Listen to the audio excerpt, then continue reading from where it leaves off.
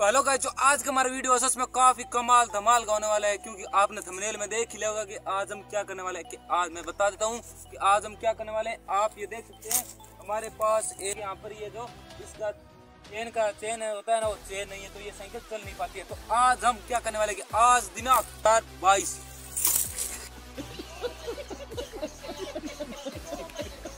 तो गैज इसके जो कि स्टैंड नहीं है खड़ी रखने वाला तो हमने एक बार गिर गई थी और इस बार हमने ये डंडी लगा ली है।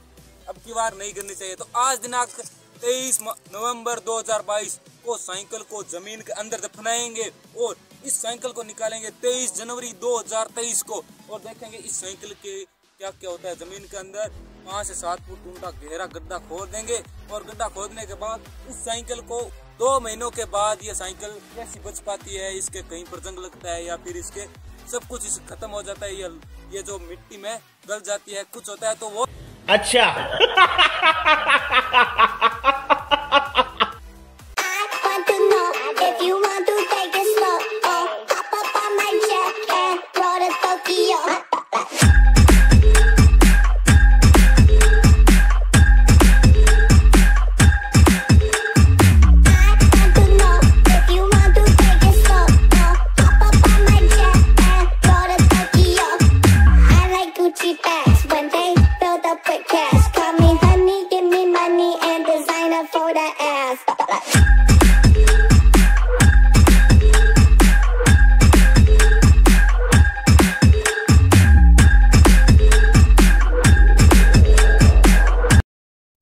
तो गाइस हमने इस साइकिल को दफनाने के लिए यहाँ पर गड्ढा खोद लिया है और अब हम इस साइकिल की अंतिम क्रियाक्रम शुरू करते हैं। अब हम इस अपनी प्यारी सी ओडी फॉर्चूनर कुछ भी कह लो, इस अपनी प्यारी सी साइकिल को इस गड्ढे के अंदर दफनाते हैं और इसको निकल दो मंथ के बाद, यानी कि दो महीने, साठ दिनों के बाद हम इस साइकिल को इस गड्ढे से बाहर निकालेंगे और देखते हैं क्या क्या क्या इसकी इतनी बुरी हालत की साइकिल होती है।